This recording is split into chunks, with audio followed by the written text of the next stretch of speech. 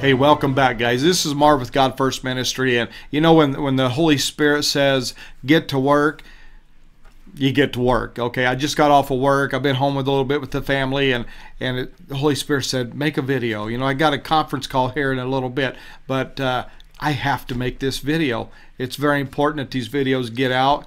Uh, I just feel this sense of urgency. It's like the Holy Spirit just pushing, pushing, pushing to get these videos out.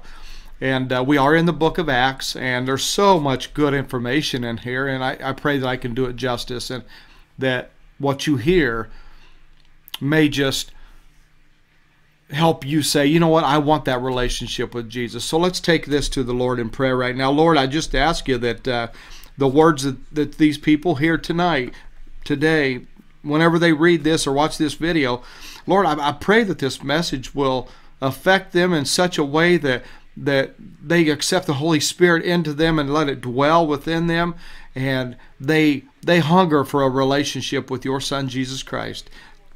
God in your precious name I pray. Amen. Guys, we are in Acts uh, chapter 15 verses 6 through 21. So let me read those real quick and then we'll uh, have a, I'll have a little message there at the end, okay?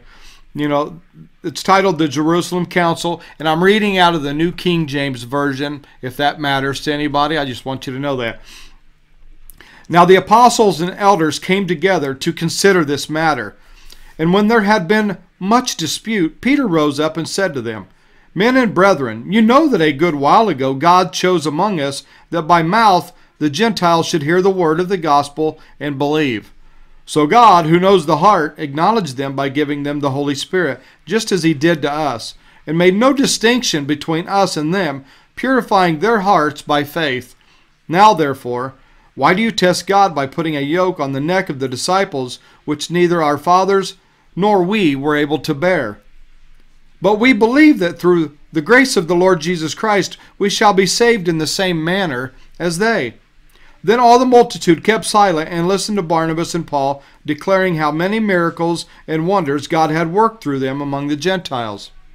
And after they had become silent, James answered, saying, Men and brethren, listen to me.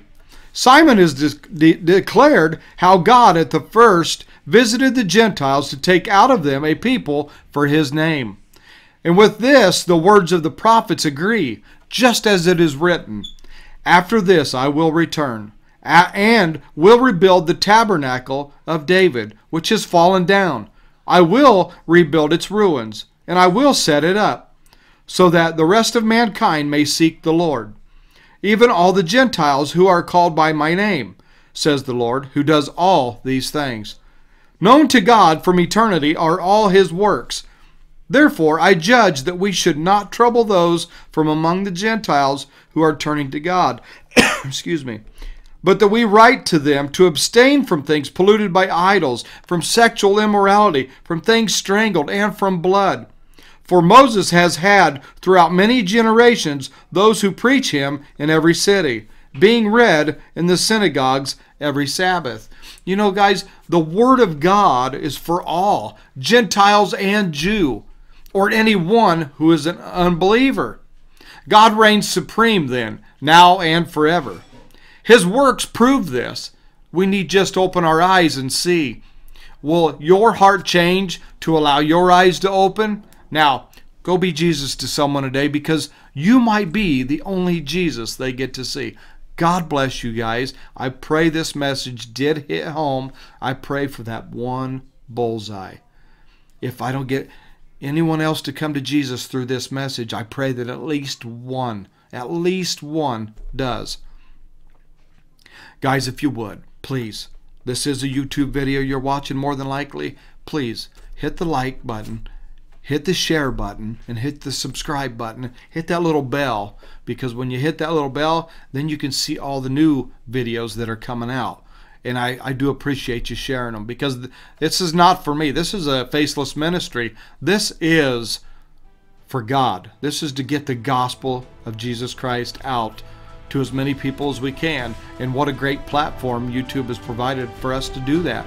So thank you, YouTube, for this. Thank you, God, for allowing me to do this. And uh, thank you for your support and, in watching these videos. And I do pray that God be with you. I love you guys, and we'll see you at the next video.